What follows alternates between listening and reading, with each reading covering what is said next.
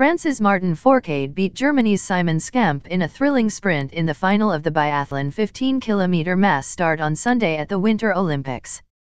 The two men were involved in an absorbing battle late on and crossed the line with the same time of 35 minutes, 47.3 seconds. However, on review of the photo, Fourcade did just enough to earn his second gold medal of the Games. Bronze went to Emil Hegle of Norway. Fourcade's big rival, Johannes Thingnes Boe, faded after a strong start, with a poor second round of shooting costing him.